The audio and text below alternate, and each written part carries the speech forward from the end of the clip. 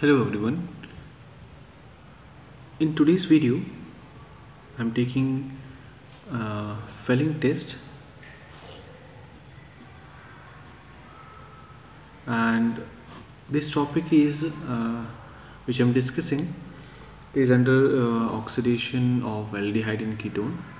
So the Fehling reagent is also a mild oxidizing agent which is helping uh, in oxidation of uh, aldehyde to carboxylic acid so uh, Fehling test uh, why we uh, do Fehling test the question rises uh, it is to identify it is to identify aldehyde.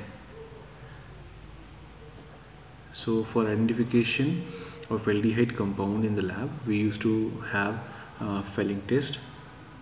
And uh, when I say ketones whether ketones used to give this Fehling test I will say ketones does not do, do not or does not gives uh, Fehling's test.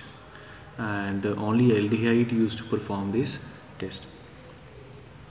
And this Fehling test will take place uh, in presence of take place in presence of uh, Fehling reagent. Uh, Fehling reagent.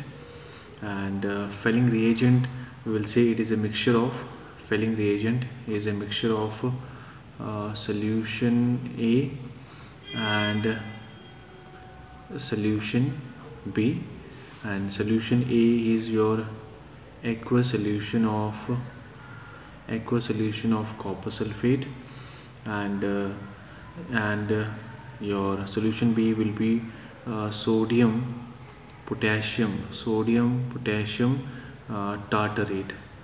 So it is a mixture of solution A and solution B. That is your Fehling reagent. Fehling reagent is a mixture of solution A and solution B. Solution A is a aqueous solution of copper sulfate. Uh, if I write down the formula CuSO4 5H2O that is your uh, copper sulfate pentahydrate and it is blue in uh, color. And it is blue in color due to the presence of due to presence of uh, copper ions Cu2 positive ions. And it is your sodium potassium tartrate. Now uh, this sodium potassium tartrate is also called sodium potassium tartrate is also called Rochelle's salt. Uh, uh, salt. Sodium potassium tartrate is also called Rochelle salt. It can be represented as COH here H then C OH here H then here COO K and here also CO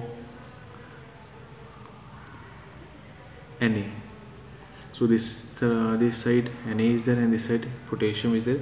That is called sodium potassium tartrate and it is also called Rochelle salt now let us uh, understand the reaction what happens. We have uh, aldehyde that is RCOH that is aldehyde so here aldehyde I have written. Then I have uh, been using aqueous solution. If I want to represent Cu2 positive so it is your uh, Fehling reagent. Fehling reagent I have taken. That is uh, Cu2 positive and aqueous solution uh, colored solution I have taken. So what will happen? Here oxidation uh, will take place. Oxidation will take place. And your aldehyde is undergoing oxidation is undergoing oxidation and forming RCOO negative that is carboxylic uh, compound getting formed plus uh, Cu2O that is Cu2O means here copper is having two positive ions here will be copper will be having positive ion. A reddish brown color compound reddish brown color formation or compound formation will take place. So here reduction have taking place. So in this way uh, the reaction or equation can be shown. Now here we find that the blue color of uh, CO2 positive uh, converts into reddish brown color due to formation of CO2O component or compound. And uh, if I compare your uh, here if I compare your Tollens uh, reagent if I compare the Tollens reagent with your Fehling reagent so uh, so Tollens reagent is considered to be more uh, powerful.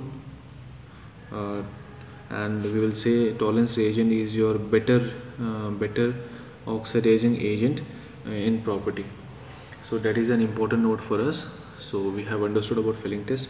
Now let us have some examples. So uh, in the example case I am taking an aldehyde. Here I have taken benzaldehyde it is an aldehyde now we have your Fehling uh, reagent. We have a Fehling reagent. And uh, we find that Fehling reagent is your weak oxidizing agent. So I find that no reaction will uh, take place in this case. But uh, if I have the same uh, aldehyde that is benzaldehyde and we have your uh, Tollens reagent that is considered to be a better oxidizing agent. So here oxidation will take place and form carboxylic acid. So uh, we are able to compare the Tollens reagent is better agent as compared to Fehling's reagent. Now so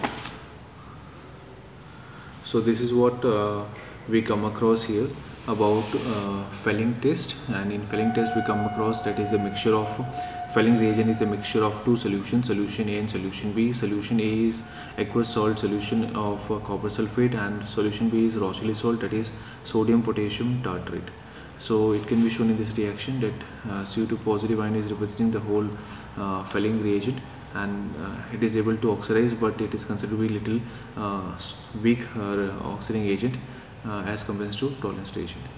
Thank you.